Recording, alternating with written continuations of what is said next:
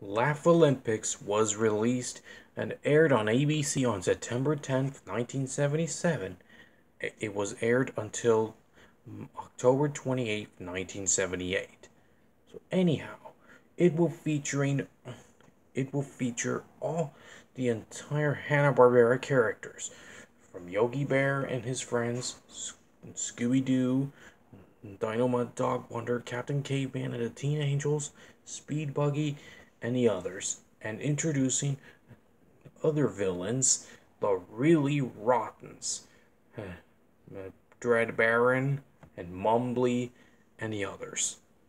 They will have to compete every entire worlds in the Laff-A-Lympics to win the, the gold medal, or silver, or bronze.